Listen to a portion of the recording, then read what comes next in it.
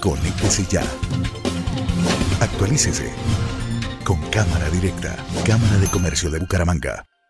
La Cámara de Comercio de Bucaramanga realiza la octava versión del reconocimiento a la innovación, evento que destaca a los empresarios que innovan, generan valor y logran sostenibilidad en la región. Son seis categorías.